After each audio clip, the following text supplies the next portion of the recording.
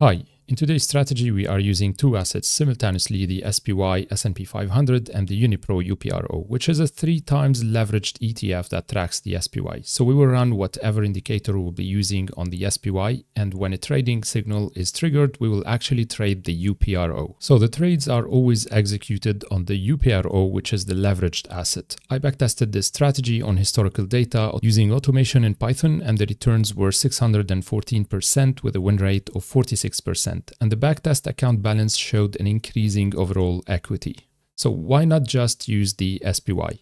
Well, this strategy was first inspired by a publication Leverage for the Long Run, and it suggests using a leveraged ETF instead of the underlying asset for trading. Just as a side note, this study won the 2016 Charles Dow Award, and the strategy relies only on proper leverage. Leveraged ETFs outperform during strong uptrends, but suffer in choppy markets due to volatility decay. So using SPY as a signal and UPRO for trading, the strategy tries to capture bull markets while avoiding losses in downtrends. In this video, we'll go through the details of the strategy and backtest it on historical data using Python language. Before we continue, two points worth mentioning here. The Python code I will be using is available for download for free from the link in the description of this video. So you can get the code and run your experiments if you are interested in the numbers. The second point is that this strategy was proposed by one of the viewers who shared the idea in the comments section. So if you have any interesting ideas to discuss, just drop us a quick description.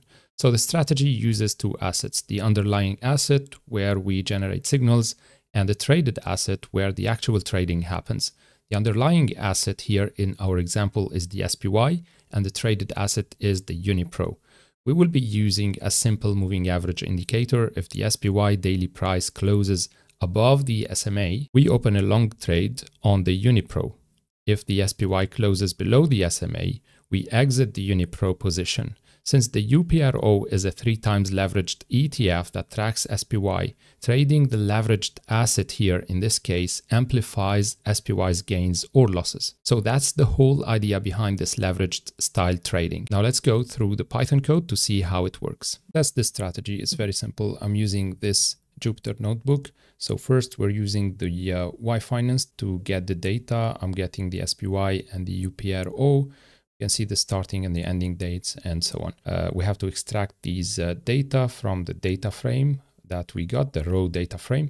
So we're extracting SPY and UPRO. This is because of the recent update of the yFinance. It comes with the tickers as a double index data frame. Then we uh, change some of the names of the columns. So for example, um, uh, renaming the open, high, low, and closing prices of the SPY data frame as open SPY, high SPY, and so on, because then we can merge the uh, UPRO and the SPY in one data frame. And whenever I do the merge and resetting the index, this is what we get. So we have the date as a column. We're not going to use it for this strategy for now, but we have an integer index because we reset the index.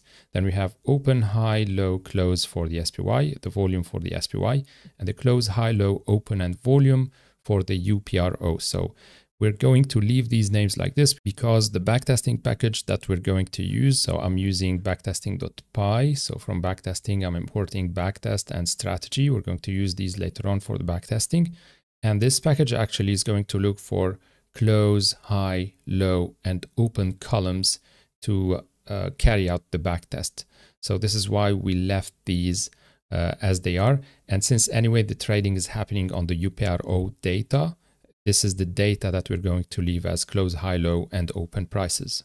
And now I'm defining a new class to backtest. So that's the leveraged for the long run class. It inherits from strategy from the backtesting package. Uh, this is the length of the simple moving average period. So it's 150 for now. That's just a random number for now. And this is the constructor. We have the indicator. That's the uh, closing price of the SPY. That's we're going to consider with the SMA uh, to, um, to uh, trigger uh, trades. So that's where we're going to signal the trades. We're using the closing price of the SPY. And so the SPY close is equal to the closing price of the SPY. And it's the last closing. So the index minus one, that's the last one, the most recent candle. And the SMA value is actually also the uh, simple moving average value for the last candle, the current candle. If the closing price is above the SMA value, we're going to open a buying position.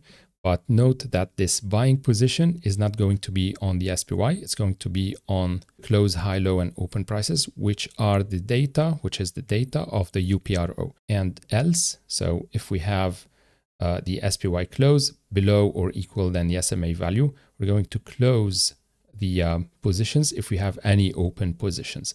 So this is how we go only long actually on this stock because anyway it's uh, climbing the S&P 500 the UPRO they are all climbing assets it's um, it's not a good thing to go against the trend and start shorting the market so we're just going long and if we have any open position we're going to close it whenever the SPY closing price goes below the SMA value. And that's it, actually. We start with a $100,000 as a cash. I'm including commissions and we can run the backtest. So bt.run, the uh, results are in statistics, stats, and we print the stats. And as you can see, we obtained 942% in return. So that's more than the, uh, the number advertised at the beginning of this video, simply because I forgot which number I used previously. I just used probably 50 or 60. But anyway, when you change the uh, length or the period of the simple moving average, we're going to get different results here. So the uh, win rate is 45% still, and we can plot the equity using bt.plot. But before that, let me change here to 200 because I think most of the sources or the references using this strategy are using 200 uh, period SMA. And if I run this using the 200, we get 349% in returns. Notice if you compare this to the buy and hold returns, it's not doing as well. So the buy and hold is still beating it. It's 1,436%. But nevertheless, it's actually a good strategy if you don't want to uh, buy and hold for a long time if you want to get in and out of the market, somehow it's less risk. You cash out your money, you put it in your pocket, then you go in with a small amount and so on. So it's kind of psychologically safer to go in and out of the market. You never know what's going to happen. So I'm going to try one more value here. If I put 100, uh, it's a good thing that we have just one parameter to change. So we're not really overfitting the strategy. Uh, so there's no way to cheat our way around. And now for the returns, we get 571% in this case, and the win rate of 38% and so on. So we have a maximum drawdown though of minus 54% still. Uh, it's kind of risky, but anyway, it is what it is. This is how you can try it. And this is the plot of the equity and the trades that we can see here. So we have the green trades are winning trades, the red trades are losing trades. The size is also proportional to the amount of the trade loss or win and we can see the trades here. And this is the equity actually. It's always on the positive side. It's climbing. It reaches a peak at this point and uh, a big drawdown afterwards. And this was it for this video. I hope you guys liked it. Thank you again for those who are contributing, bringing those ideas, those fresh ideas actually to the channel. Until our next one, trade safe and see you next time.